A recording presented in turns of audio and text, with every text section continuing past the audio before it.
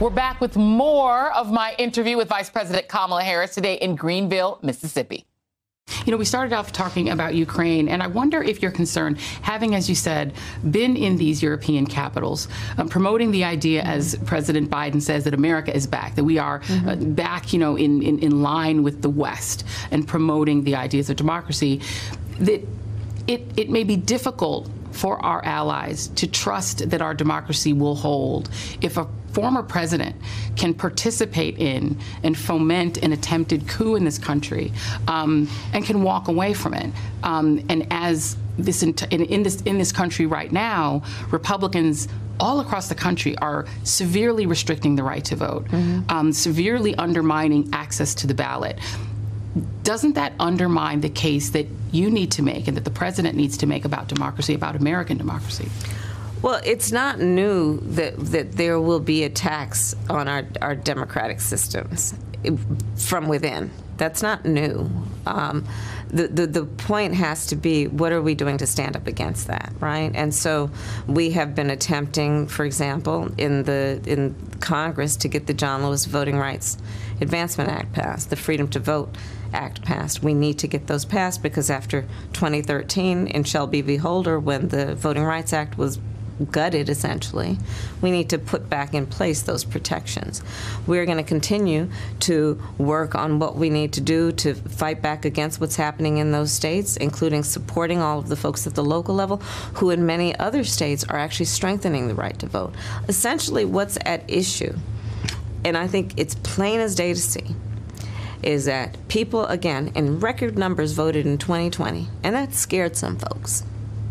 So now they are in the process of trying to put in place laws around in various states in our country to make it more difficult to vote with the expectation and intention that if you make it more difficult to vote, certain people won't vote. I think that folks know when they stood in those lines in 2020 for hours, when that single mother or father put those kids in the back seat and then drove to drop that ballot off in the drop box. They went and voted because they said, I want certain things. I want an extension of the child tax credit, and they got it. They said, I want to see money go to HBCUs, and they got it. They said, I want to see that we're going to have a real commitment to having broadband and high speed internet for all communities, including rural communities. That is going to be affordable, including in ur- urban communities. They got that. They said they want to have an administration that fights for affordable child care so that nobody should pay more than 7% of their income in child care. We're fighting for that. I think the people in 2020 made an order. They put in their order when they voted and said this is the these are the things they want. And they got those things and that in the next election they're going to know that when they vote that vote matters and it produces results based on what they dictate. Well, one of the things that we're seeing is um, NBC News polling and mm-hmm. others showing a disconnect um, between the performance of the economy and, as you said, mm-hmm. you know, the, the actual substance of what has been passed mm-hmm. and what American voters have received, um, and people's contentment, um, including with the administration. There is an enthusiasm gap that's north of 10, 12 percent.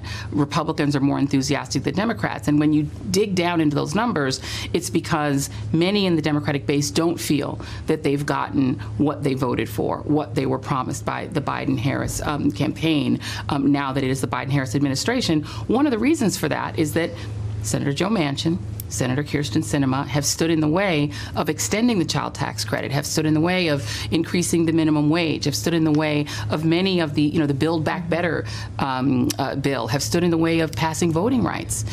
Are Senators Manchin and Sinema, in the view of the White House, are they allies of this administration or they opponents? Not one Republican voted for the American Rescue Plan which brought $1,400 checks to people when they needed it most, when we had millions of people out of work through no fault of their own. Not one voted. When we were extending the child tax credit, and working parents know what that meant and what it means in terms of helping them get through the days in the month and satisfy their basic responsibilities to parent their children. When we look at what we achieved in terms of putting in place a system around getting vaccines for people. So now over 200, I think it's in 15 million people have been vaccinated in our country. And as a result, we've been able to reopen our schools. 99% of them are reopened. Businesses are reopening.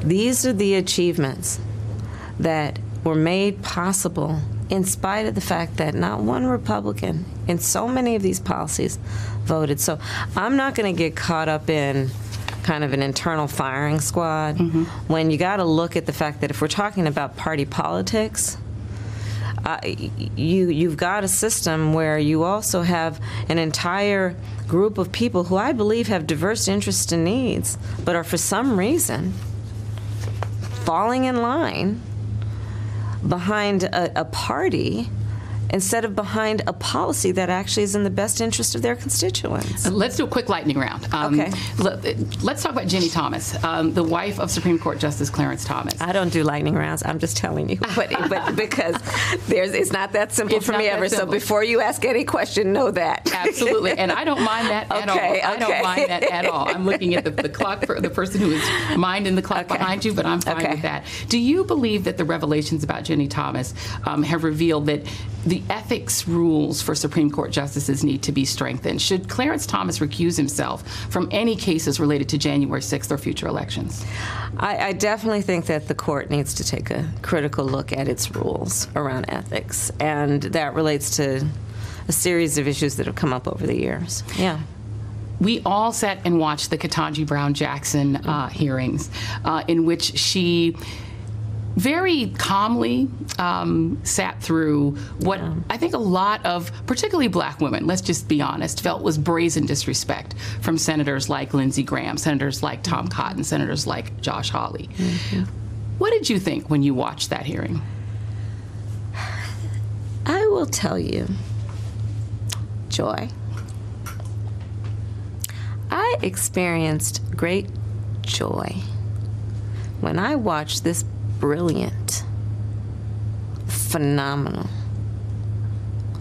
black woman, jurist, be so smart and just cut through the political gamesmanship that they were attempting to incite.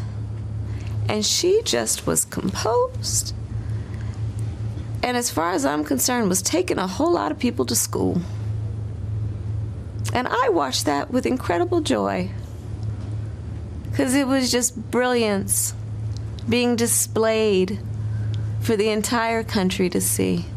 And I cannot wait to see. I, it, that will only be matched by the joy that I experience when I see her take the oath to be the next justice on the United States Supreme Court. Vice President Harris, thank you so thank much. Thank you, Joy. Really it's good to be you. with you. Great thank you. you. Thank you.